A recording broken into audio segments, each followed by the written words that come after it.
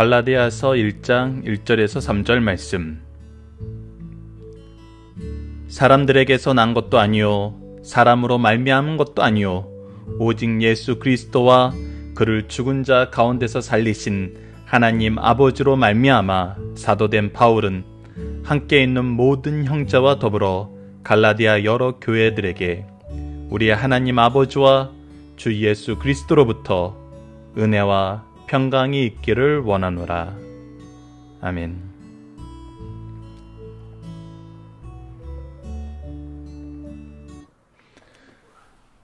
안녕하세요. 승리한사 가족 여러분 그리고 강성 성경 연구원 여러분. 오늘부터 저희가 갈라디아서 말씀을 상고하게 되었습니다. 갈라디아서 첫 번째 부분은 갈라디아서는 어떤 하나님의 말씀인가라는 제목으로 나타나고 있고요.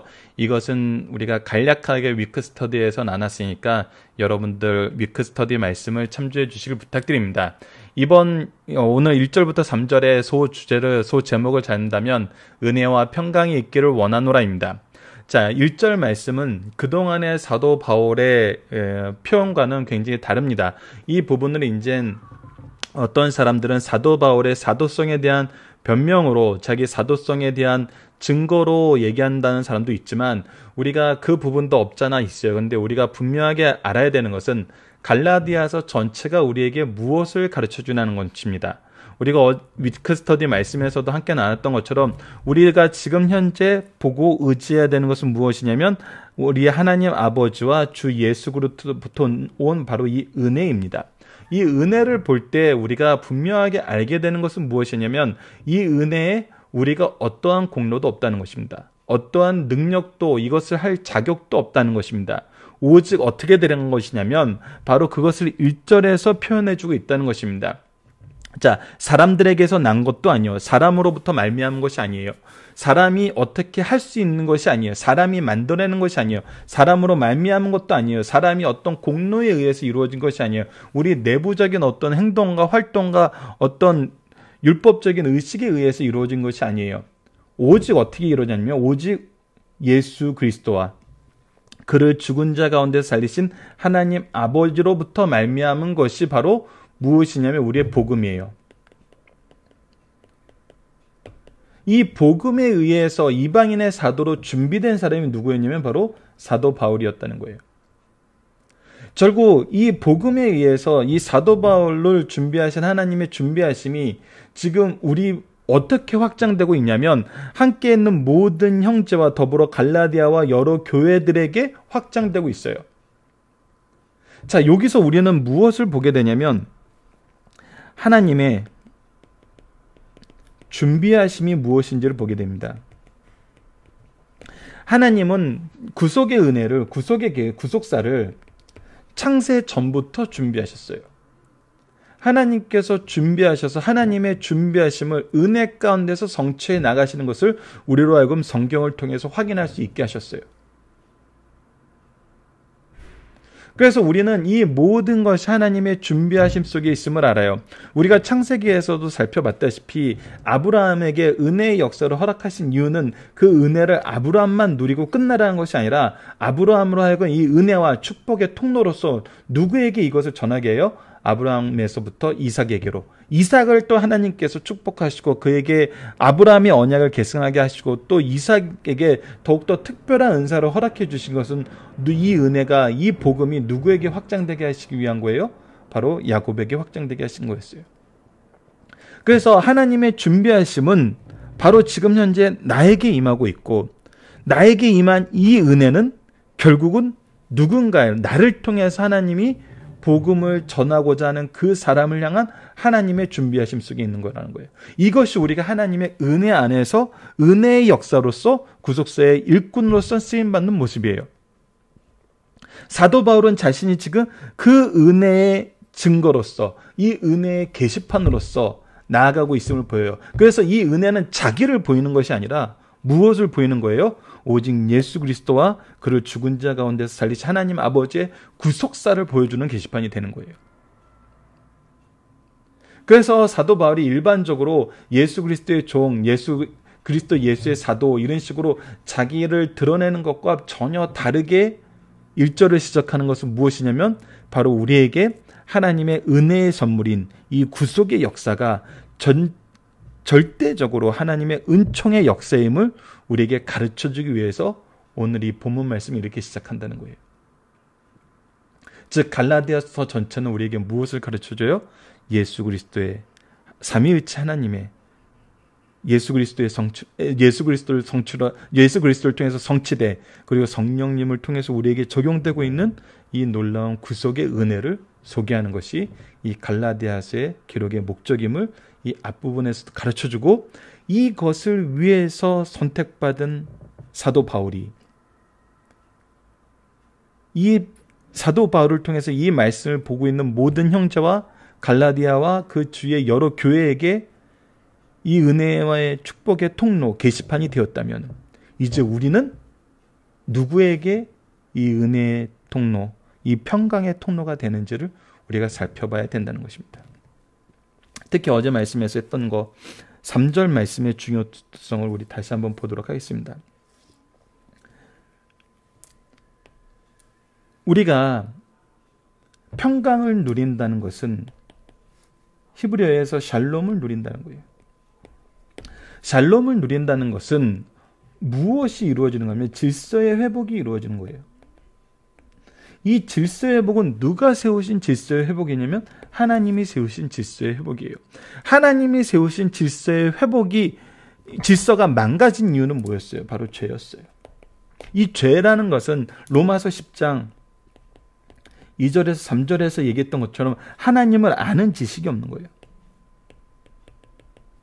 열정은 있지만 지식이 없었어요. 그래서 그들은 어떻게 했어요? 자기의 의를 세웠어요. 자기의 의를 세우니까 무엇을 거부하냐면 하나님의 의를 거부하게 됐어요. 하나님의 의를 거부한 사람들은 이 은혜를 거부하게 돼요. 이 은혜를 거부한 사람은 이 평강이 없게 돼요. 그래서 우리는 지금 무엇에 포커스를 맞춰야 돼요? 하나님 아버지의 은혜가 무엇인지를 아는 일에 포커스를 맞춰야 돼요. 이 아는 일에 포커스를 맞춘 자세가 바로 이거예요. 이것이 사람들에게서 난 것도 아니에요. 사람으로 말미암은 것도 아니고 오직 오직 예수 그리스도와 그를 죽은 자 가운데서 살리신 하나님 아버지로부터 말미암았다. 이것은 무엇이에요? 바로 구속의 은혜로 구속의 삼위일체 하나님의 구속의 구속사를 통해서 성취되었다는 거거든요. 이것을 지금 우리는 나누고 있어야 된다는 거예요. 이것이 성도의 본질적인 모습이고 가장 핵심적인 사역이라는 거예요. 그래서 이 은혜가 무엇인지 모르면 우리는 믿음의 그릇을 바로 준비할 수 없어요. 은혜가 무엇인지 모르면 이신칭이 이신 득이는 또 무엇으로 해석이 돼요? 자기 의를 세우는 걸로 해석이 돼요. 그래서 오히려 아나무인해져요. 아나무인한 많은 이단들을 봤어요. 믿기만 하면 구원받는다니까 자신들의 죄를 짓는 것은 전혀 거리끼지 않는 것이 되고 자기의 죄에 대한 죄값을 받는 것은 예 하나님의 은혜 가운데 사하심을 받았으니까 자기가 겪지 않아도 되는 특권으로 봐요. 죄값을 합당한 이 회개의 역사를 거부해도 되는 특권으로 생각하고 오히려 교회에 와서 이것을 자랑하기라도 하죠. 그래서 더 많은 연약한 심령들을 넘어뜨리는 잘못된 신앙으로 가는 것을 보게 되었어요. 거기에 무엇이 없어요? 은혜도 없고 평강도 없어요. 이 은혜는 자기의 특권으로 만들고 이 평강은 자기의 자랑으로 바꿔버려요. 이것이 우리가 삼일체 하나님의 은혜를 바로 이해하지 못했을 때 나타나는 것이고 바로 이것을 이해하지 못했던 사람들이 갈라디아 교회에 들어와서 이들을 공격하고 넘어지게 했던 것을 보게 됩니다. 그래서 우리는 이 내용을 바로 이해해서 우리가 구속사의 게시판, 구속의 은혜의 통로가 되어야지. 오히려 소란케 하고 요란케 하는 자가 되어서는 안 된다는 걸 우리가 기억해야 됩니다. 자, 본문 묵상을 보도록 하겠습니다. 바울은 자신의 사도됨이 누구로부터 온 것이라고 말하고 있나요? 예.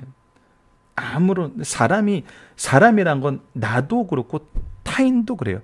타인의 기준에 의해서 내가 사도된 것이 아니고 나의 자격에 의해서 사도된 것이 아니고 오직 하나님 아버지와 예수 그리스도와 예수 그리스도를 통해서 우리에게 십자가와 부활의 은혜를 허락하여 주신 하나님의 역사하심을 통해서 사도가 되었다는 거예요. 이것은 사도 바울뿐만 아니라 우리 모두가 이렇게 되었다는 거예요. 이것을 먼저 알아야 된다는 거예요. 구속의 은혜가 무엇인지를 먼저 알아야 된다는 거예요. 필연적으로 우리는 이 안에서 무엇을 알아야 돼요? 죄가 무엇인지를 알게 돼요. 하나님을 아는 지식을 통해서 이것을 회복해요. 그래서 하나님을 아는 지혜와 하나님께 나아가는 거룩함과 하나님의 의로 하나님의 뜻을 성취하는 이 놀라운 능력의 역사가 우리들을 통해서 이루어졌잖아요.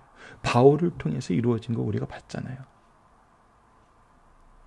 그래서 성경의 이 역사의 증거를 통해서 우리가 우리를 통해서 무엇을 이루시고자 하시는지 이 일을 이루시기 위해서 우리를 어떻게 이끄시는지를 확신하면서 나아가게 되는 것이죠. 자, 이번 바울이 갈라디아 여러 교회에 무엇이 있기를 원하나요? 바로 은혜와 평강이 있기를 원합니다. 은혜는 샘의 원천이고 평강은 이 샘이 흐르는 길이에요. 은혜가 없이는 평강이 있을 수가 없어요.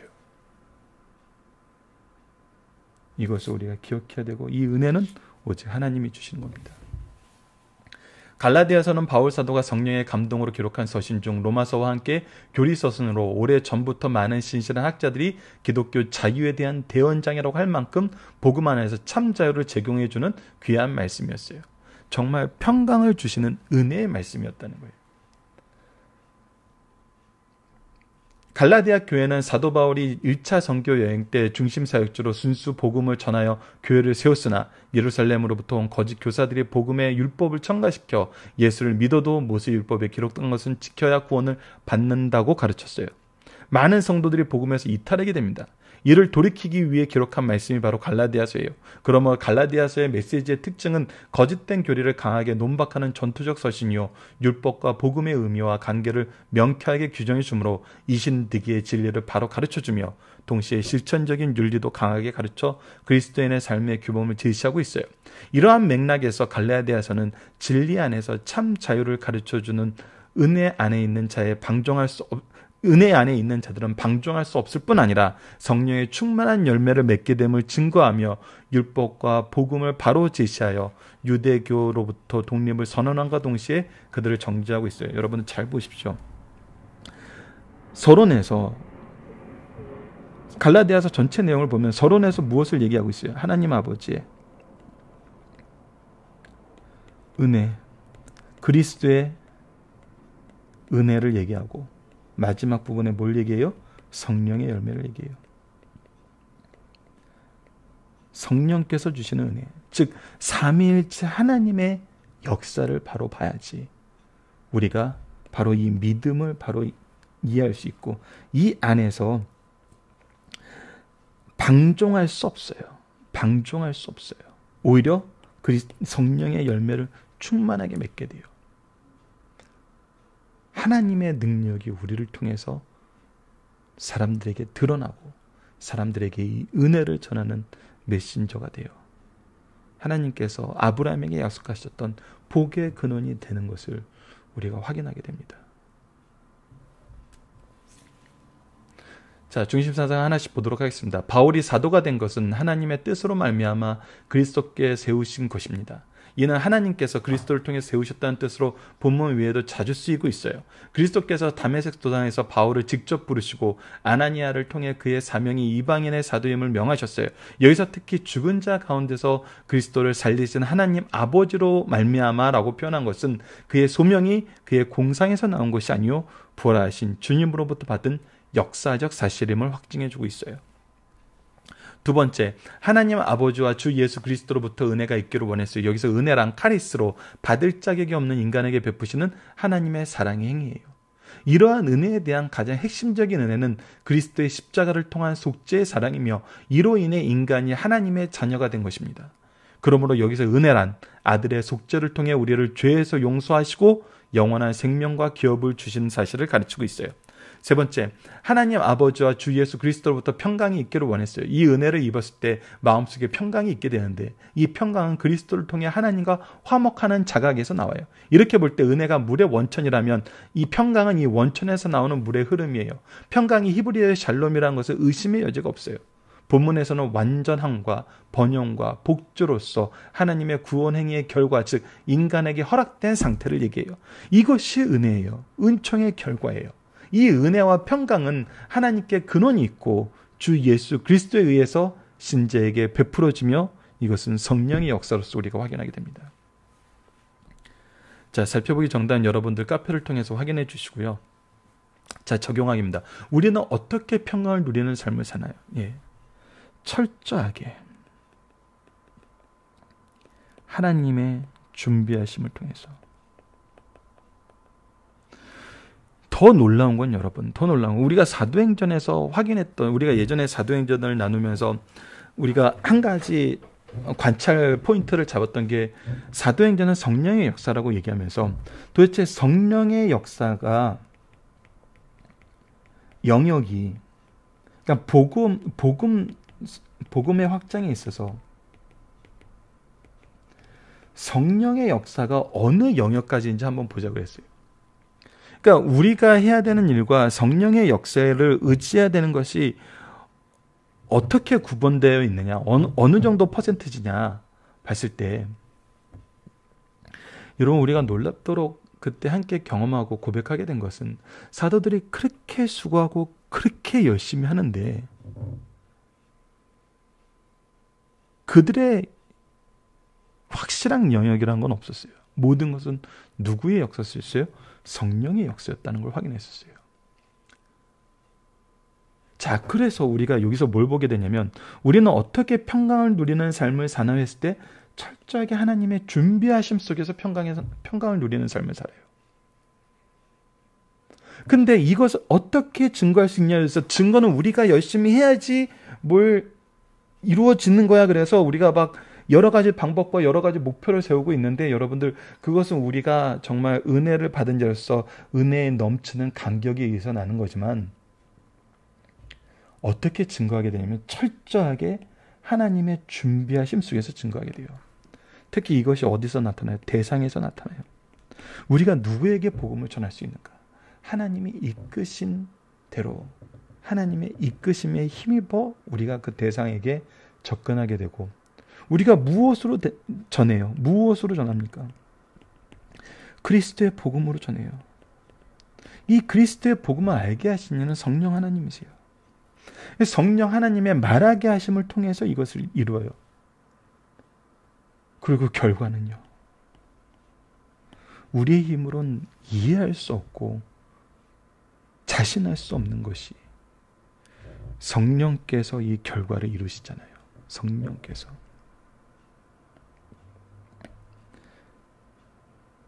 대상과 방법과 결과가 다 철저하게 하나님의 준비하심 속에서 이루어져요. 우리는 이 은혜를 담는 그릇일 뿐이에요. 모든 것은 하나님이 하신 거예요. 받는 것도 하나님의 은혜요. 전하는 것도 하나님의 은혜예요. 이러니 세상이 우리를 감당하지 못하고 이러니 우리가 흔들리지 않죠. 우리가 확신 속에 사는 거, 능력 있게 사는 거, 항상 승리하는 이유는 바로 철저한 하나님의 준비하심이 우리보다 먼저 우리와 함께 그리고 결과를 책임져 주시기 때문입니다. 이것을 함께 나누는 것을 확인하시는 승리한산 가족 여러분들 그리고 강성 성경 연구원 여러분들 되었으면 합니다. 자, 우리를 향한 하나님의 계획을 우리는 어떻게 확인하고 경험하나요? 예, 너무나 쉬워요. 먼저 우리보다 먼저 생각하시고 이미 그 모든 계획을 하나님의 전능하신 전제하신 능력 안에서 이루시고 우리가 때에 따라서 이것을 발견하고 즐기게 하세요. 네, 이 단어가 너무나 우리를 행복하게 만들어요. 하나님의 계획하심 우리로 하여금 즐기게 하세요. 그 안에서 즐거워하게 하세요. 이때 우리는 뭐라고 하라니까 아멘이라고 화답하게 됩니다. 아멘 아멘 화답하면서 찬양하게 되는 것이죠. 말씀을 기초로 기도하기를 통해서 마치겠습니다. 하나님, 우리에게 은혜의 말씀을 허락하시고 준비된 하나님의 종들을 통해 준비된 말씀을 전하여 주시고 준비된 은혜와 평강 속에 살게 하심을 감사합니다. 우리의 인생 속에서 미리 준비하셔서 역사하시는 주님의 은혜를 누리며 또한 우리도 하나님의 준비된 일꾼으로 복음을 선포하게 하여 주소서 예수님 이름으로 기도드립니다. 아멘.